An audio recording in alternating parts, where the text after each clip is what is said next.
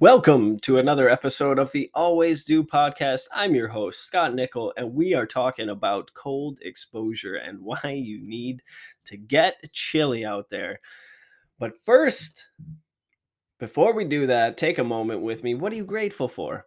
What are you grateful for? We all need a gratitude practice in our life, time and time and time again. The more I research, the more I learn, the more I improve myself. Gratitude practice comes up time and time and time again by everybody. Everybody, even the richest of the rich, the people at the top, they're all saying the same thing over and over. Be grateful for what you have. And in doing so, it allows you to open up space for getting the things that you want. It's just so clear time and time again. And even I'm working on this, is just we focus on what we want well, what do I want? What do I want? How do I get it? What do I want? But why not try something different if it hasn't been working for you? Okay, quote of the day. This will get us right into what we're going to talk about. And this comes from Andrew Huberman. And it goes, quote, by forcing yourself to embrace the stress of cold exposure as a meaningful self directed challenge, i.e., stressor, you exert what is called top down control over deeper brain centers that regulate reflexive states. This top down control process involves your prefrontal cortex, an area of your brain involved in planning and suppressing impulsivity. That top down control is the basis of what people refer to when they talk about resilience and grit. Importantly, it is a skill that carries over to situations outside of the deliberate cold environment, allowing you to cope better and maintain a calm, clear mind when confronted with real world stressors. In other words, deliberate cold exposure is great training for the mind end quote.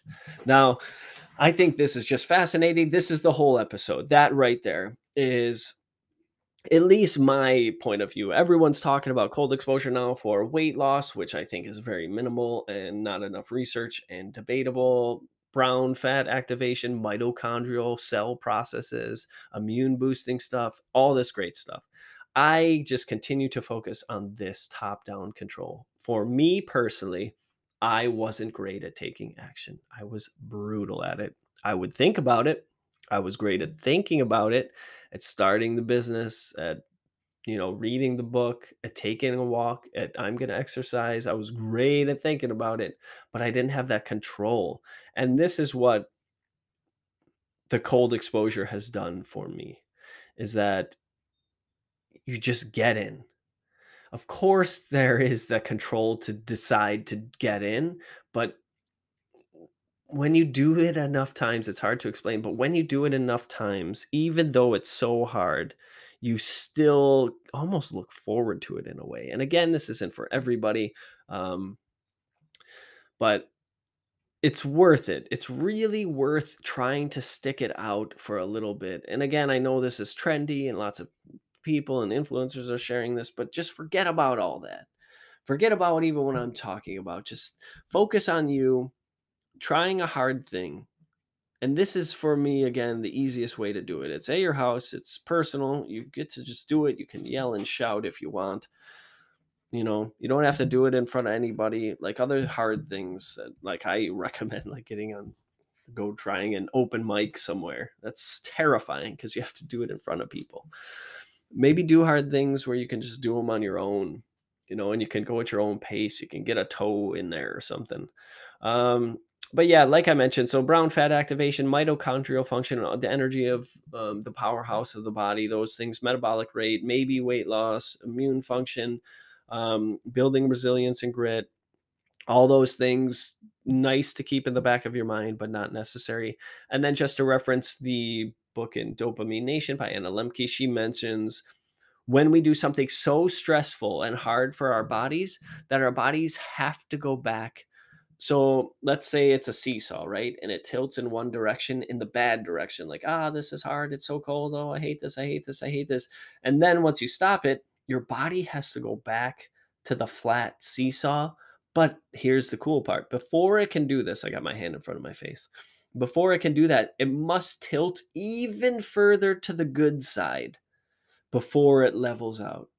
So you can't see my hand, but it's going all the way down to the left. Ah, cold, cold, cold, cold, cold, cold. Then it's coming back. Whoa. all the way back to the right and then it's leveling out. So you get this huge you do this really hard thing and then for it's apparently hours afterwards you get this huge hit of like goodness. So again, try to take it in the morning. It's up to you. It's supposed to produce feel good chemicals, you know, those oxytocins and dopamines we hear about all the time something to look into and something to try. It is, I wrote here in my notes, it's not nearly as cold as you think. And I realized that these notes were taken a while ago and I lied to myself. It is very cold.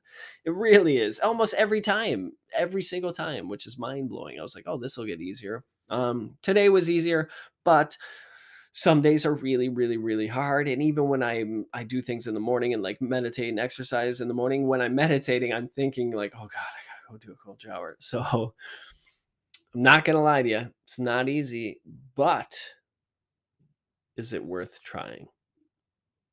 The mental aspect is really something interesting to check out. I'll leave it at that. I've got a little bit more here on the science. I'll read it out because I've got it here. And I think that's exciting stuff.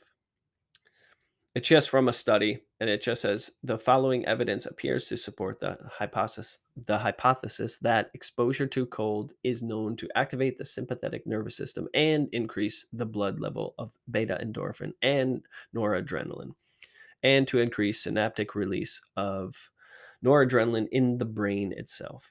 So I won't go into all the details, but in conclusion, wider and more rigorous studies would be needed to test the validity of this hypothesis. So we kind of know, but we don't really know a lot for sure. But it seems like more and more research is coming out and people are sharing their personal experiences. And again, just especially now that it's warming up a little bit, it gets much easier um, to do it as opposed to doing it in the winter. But again, I highly recommend it if you want to do something really difficult and give it a try.